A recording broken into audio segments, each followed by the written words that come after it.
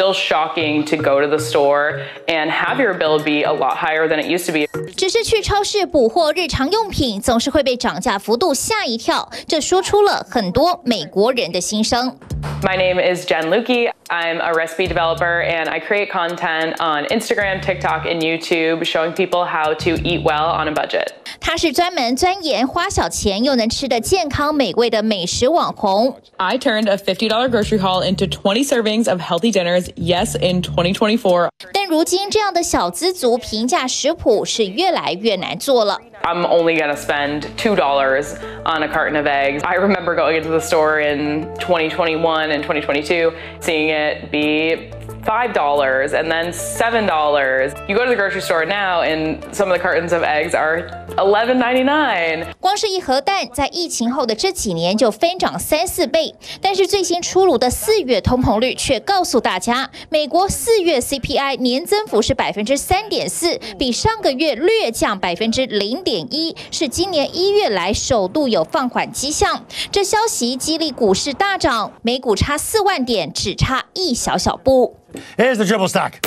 Still not 40,000 on the Dow, but it is a high, 39,908. Could it be tomorrow? Who knows? 投资人乐得开花，但这是不是只有股市一头热 ？I'm less excited and more cool than investors are as a result of this teeny fractional reduction that we saw in the hope is that we can look to this and say perhaps that inflation is back on its downward progression rather than stagnating which I think has been the fear in the first quarter 因为光从这微幅下降的零点一个百分点真的很难说服美国民众通膨压力减缓了 I think Americans are a little perplexed when they see news reports of inflation coming down and yet they don't notice any of their prices coming down. 食品、油价、房价都在涨，有超过百分之六十五的人认为通膨是现阶段财务压力的最大来源，而且就连小费都在涨。 A lot of folks are now at the point where they're ultra sensitive. 根据统计，二零一九年时，通常给小费的幅度是落在总消费的百分之十五。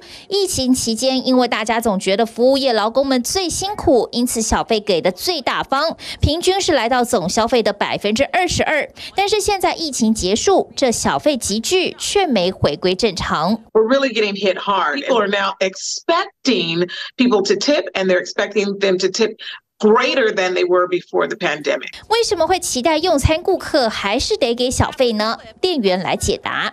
When people tip us more, it helps me pay my bills. It helps with my gas. Um, wages aren't always going to make it nowadays because of inflation. 疫情后，餐饮消费回温，业者预期回到实体服务能收小费，但没有想到通膨吃掉大家的荷包，有越来越多人反倒认为应该是餐厅业者要加薪，而不是靠客人。if you want to raise all the menu prices and increase the gross of the company so that it can afford higher wage, uh, higher just direct wages with no tips, then the company's controlling how much you spend. 但是老板也讲明了，这势必得涨价。说来说去，还是消费者吸收。手上的现金是越变越薄，专家也提醒了，要小心出现货币幻觉。Money illusion, they don't take into account the level of inflation in an economy. So they wrongly believe that a dollar today is worth the same amount that it was the year prior. So even if your income is rising each year and you're getting a raise, with inflation, it doesn't feel like you're ever getting ahead because everything is more expensive. 通膨时代，你手中的一块钱早就不如两三年前值钱了。这也就是为什么当拜登说出这句话时，We have the strongest economy in the world。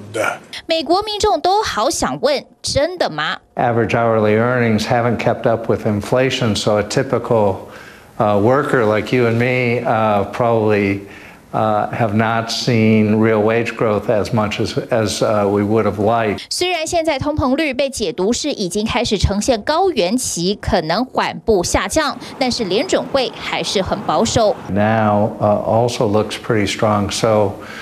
These persistent 没有透露下一步的利率动作为何，就怕通膨巨兽反扑，依旧降不下来。TVBS 新闻综合报道。想看最完整的新闻内容，记得下载 TVBS 新闻网 APP。